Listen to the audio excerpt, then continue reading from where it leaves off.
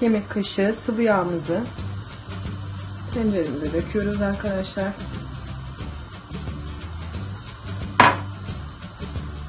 Üzerine yemeklik doğranmış soğanımızı ekleyip bir güzel kavuruyoruz.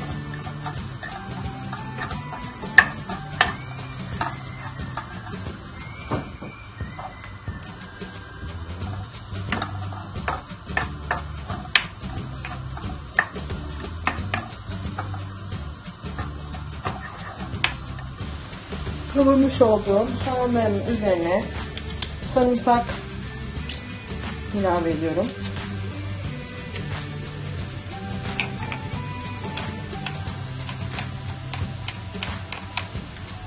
İki diş olacak arkadaşlar.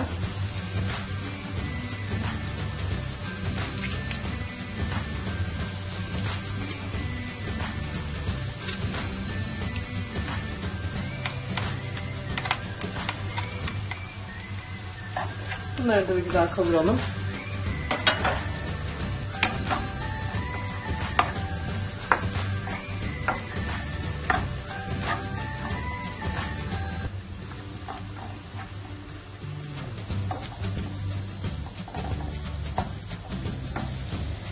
Bir yemek kaşığı biber salçamızı ilave edip kokusu çıkana kadar kavuruyoruz arkadaşlar.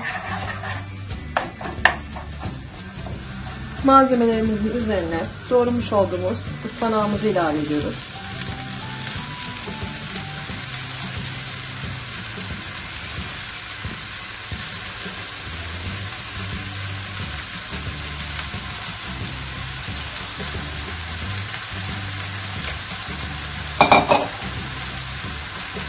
Diriliği gidene kadar kavurma işlemine devam ediyoruz.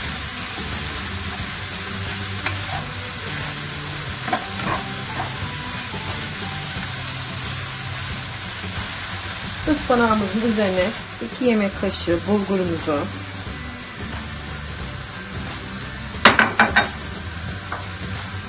bir kase haşlanmış barbunyamızı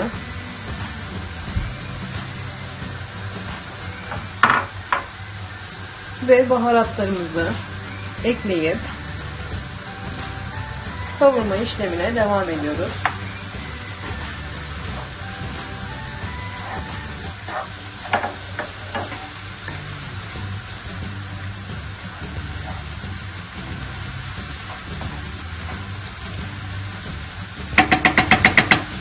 Yeterince kavurduktan sonra üzerine çıkacak şekilde sıcak suyumuzu ilave edip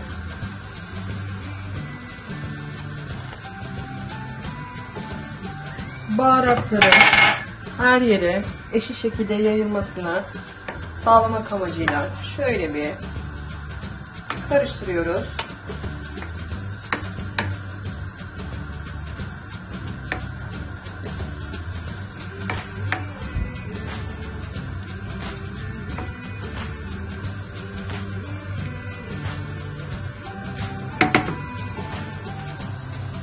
Daha sonra kapağımızı kapatıp kısık ateşte